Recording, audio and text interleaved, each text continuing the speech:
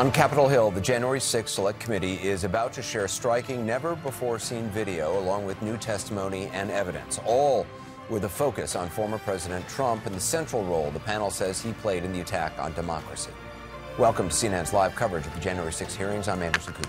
I'm Jake Tapper. This is the final public hearing before the midterm elections. Committee members are promising to hammer home their urgent argument that Donald J. Trump remains, in their view, a clear and present danger to American democracy as Trump continues to push false claims about the 2020 election. Committee aides tell us that the hearing today will zero in on Trump's state of mind on and around January 6th. We're told we're going to see and hear from Trump cabinet officials and other new witnesses who have recently been interviewed by the committee that could potentially include former Secretary of State Mike Pompeo, former Treasury Secretary Steve Mnuchin, and former Transportation Secretary Elaine Chao. Some of the most compelling evidence, we're told, is likely to come from the U.S. Secret Service. The service has turned over more than a million emails and other communications to the Select Committee. The messages could potentially shed new light on Trump's actions and intentions on January 6, 2021.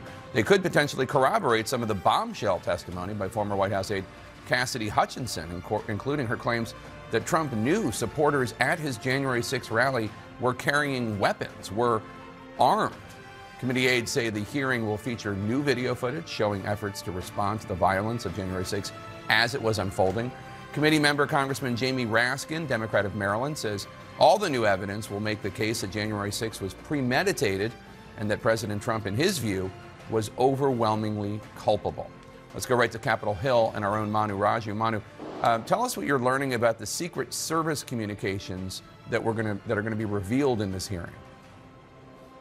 Yeah, a source with direct knowledge of the matter tells me that the committee plans to show messages that the Secret Service was aware of increased violent rhetoric that was on the social media site Parler, rhetoric that was directed at government officials. In particular, the day before the January 6th attack on January 5th, 2021, one agent reported that some of the, that violent rhetoric was directed squarely at then Vice President Mike Pence, who, of course, Donald Trump wanted to overturn the election results while presiding over the joint session of Congress certifying the election results on January 6, 2021. Now, the committee also has messages showing how the Secret Service was aware of weapons on the crowd, uh, in the crowd on January 6 of that rally that Donald Trump attended, the rally in which, of course, led, preceded the riot at the Capitol. They were aware of bear spray, riot shields, and they were aware that some of the people even had guns. I'm told that the messages will reveal that they were aware that people had body armor, ballistic helmets, radio equipment, military grade backpacks. And some of these people did not want to go through magnetometers, the screening services,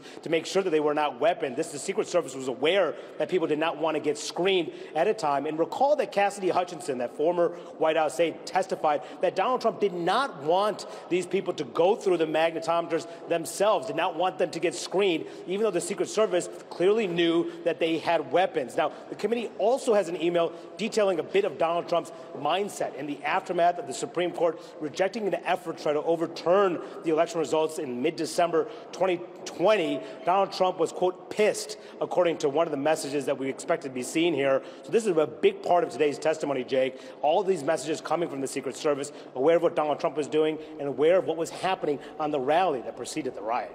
All right, Manu Raju on Capitol Hill for us. Thanks so much. Uh, Jamie Gangel, uh, we're also told that there's going to be some uh, striking, never before seen video. What can you tell us about that? So, we have learned from multiple sources exactly what this video is.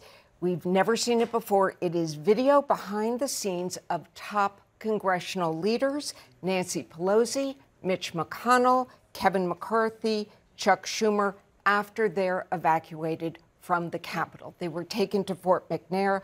I am told it is remarkable, it is compelling, that it shows the congressional leadership interacting on the phone with then Vice President Mike Pence, with other uh, officials, trying to stop the riot, trying to do the right thing, and that it is in sharp contrast to what?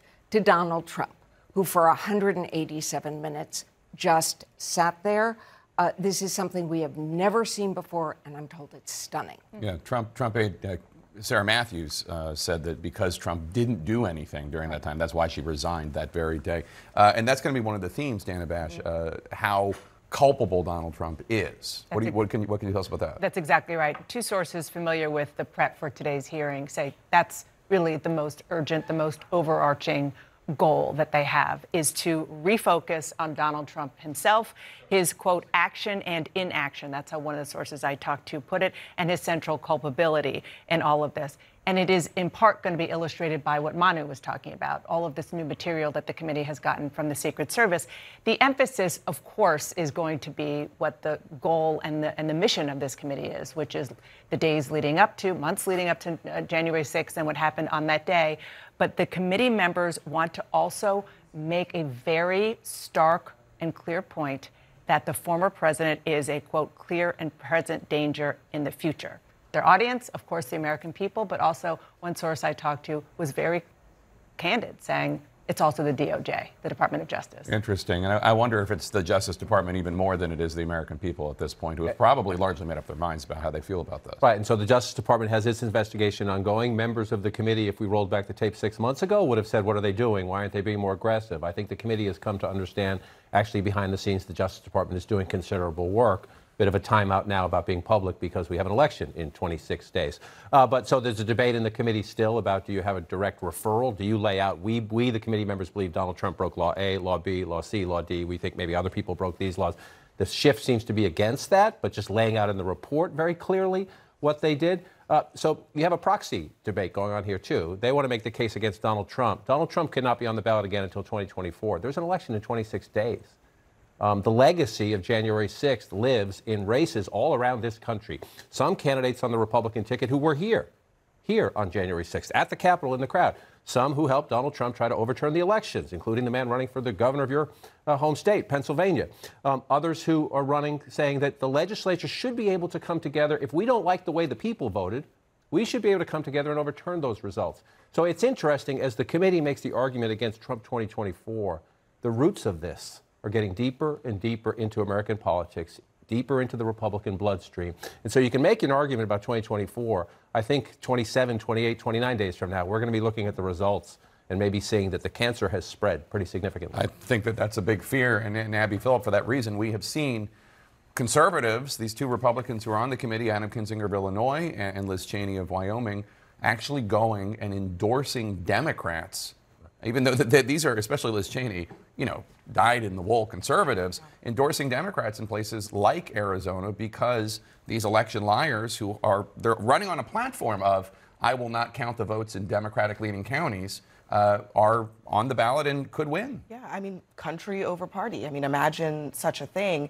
It seems really far fetched, but I think they understand that you can't even get to uh, partisan differences if you don't even believe in the fundamental issue of democracy in the first place. And for that, Adam Kinzinger and Liz Cheney have uh, essentially been become estranged from their own political party. Both of them, uh, basically implying that they don't have a home among Republicans right now, or until they fully the party fully rejects Donald Trump. I think one other thing about uh, Adam Kinzinger and Liz Cheney and their effect on the committee's work is that they understand that the power of the evidence really matters because they're not just speaking to Democrats and people who already believe in them. They already they also want to talk to their fellow Republicans. And I think today's hearing, uh, in which we're going to hear a lot from a kind of almost like third party, the Secret Service, and things that were happening contemporaneously, I think it has the effect of uh, basically saying, like, these are people who don't really have a skin in the game. And here's what they were saying at the time. And I think that's a really powerful source of information at this particular stage in the hearings. Yeah. Uh, factually, legally, morally, politically, all comes down to Donald Trump. Donald Trump was the person who set this all in motion by the big lie. He was the person who, for whom this all was beneficial. He was the one trying to stop the peaceful transition of power by whatever means possible legal, illegal, violence, lies. And it all comes back, it, it, all the audiences, um, this connects to all the audiences, including the DOJ, because the two statutes involved that are relevant here are 18 U.S.C. 371, conspiracy to fraud the United States, which requires just basic deceit and, and, and, and and, and lies in, in trying to obstruct a lawful function of government, and and 1512, the obstruction statute, which says that if you if you corruptly, again that could be through lies or violence or anything else, to um, obstruct an official proceeding, which this absolutely was of the United States government, you go to jail, and it all dovetails. I guess we'll see if we're a nation of, of uh, laws or men uh, coming in the coming days as the January 6th committee uh, is getting ready to begin today's hearing. We're getting new information about the committee's deliberations on possible criminal referrals to the Justice Department. We'll tell you what we're learning next.